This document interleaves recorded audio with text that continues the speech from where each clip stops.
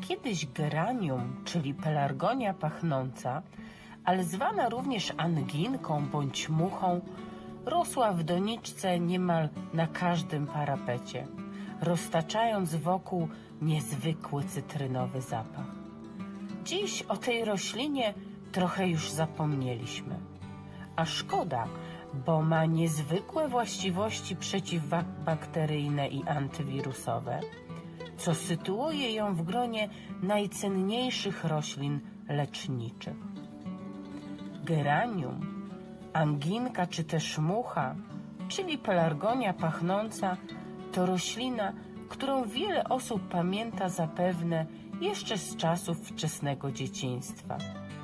Wystarczyło lekko poruszyć jej liście, by w całym pokoju uniósł się zapach cytry. Ale geranium gościło w wielu polskich domach nie tylko ze względu na zapach cytrusów. Rozłożyste liście o niespotykanym dekoracyjnym kształcie czy kolor kwiatów, roślina ta przez wieki była ceniona za swoje właściwości lecznicze. Stąd zyskała nazwę anginka lub anginowiec. Nasi przodkowie chętnie wykorzystywali liście geranium do tego, by przygotować lecznicze napary, pomagające w rozmaitych infekcjach dróg oddechowych. Świeżo zerwane i roztarte liście służyły też jako remedium na choroby skóry, infekcje ucha środkowego, a także jako składnik mieszanek do pielęgnacji skóry.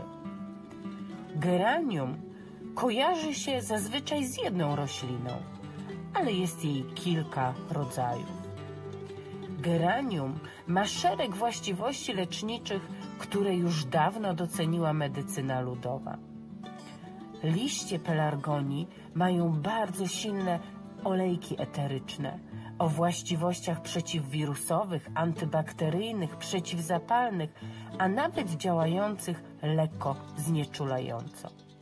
Geranium, inaczej anginka czy też mucha, łagodzi infekcje dróg oddechowych, zmniejsza ból gardła, zmniejsza obrzęk błon śluzowych podczas kataru, uśmierza ból ucha, łagodzi nawet bóle reumatyczne, a nawet bóle głowy i nerwobóle.